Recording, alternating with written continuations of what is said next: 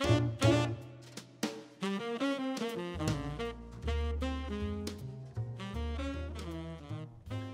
this is the Imperia RMN220 and today we're going to go over replacing the thickness adjustment knob.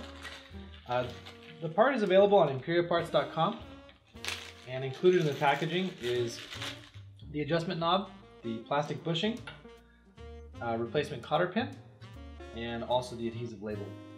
So we're going to start by disassembling the machine. And just to go over the parts that we're going to use in this demonstration, a 3 millimeter punch, a ball peen hammer, got a Phillips or a flathead potentially if you have different screws in your machine, and a pair of channel locks. So I'm going to begin by removing the screws on the uh, exterior panel.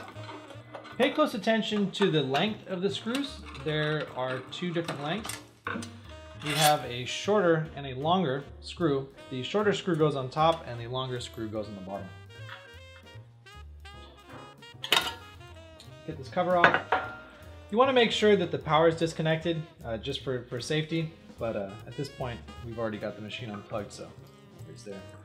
I'm going to uh, remove the screw that's uh, in the center of the knob, and that comes off as so.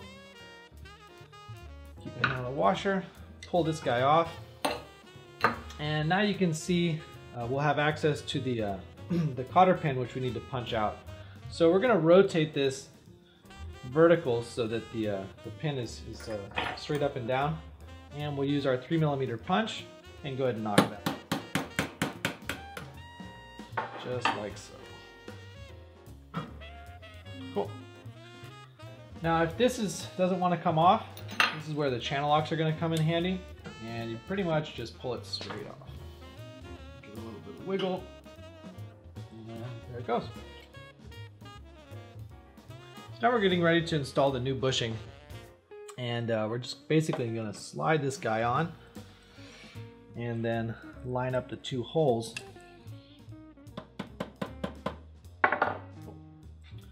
So the new cotter pin, we're going to give one edge a little bit of a squeeze and that's going to allow it to go together that much easier. Just give it a little bit of a taper there. So now we give it a tap, that much easier. So to finish it, we'll use the Knipex, or our channel locks here, and just give it a good squeeze. Ta-da! Cool. Go ahead and replace this cover.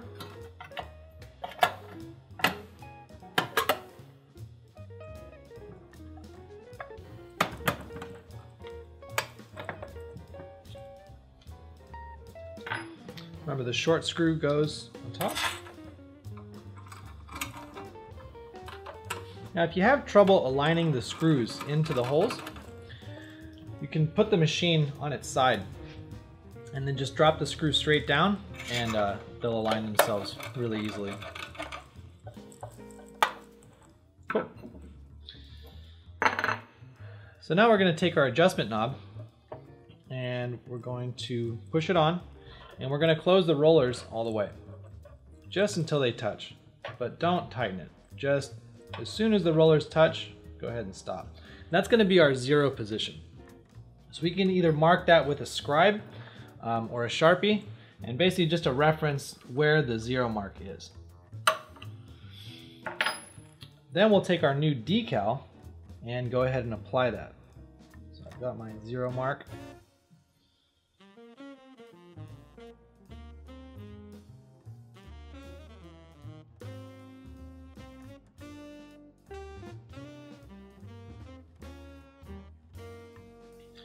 Now that we've got our decal installed, uh, we're going to go ahead and reinstall the knob and we're pretty much done. Note the direction of the numbers. So they, they start at zero and then go in this direction. Um, so we're going to get that knob back on and our Phillips screw and washer to hold it in place.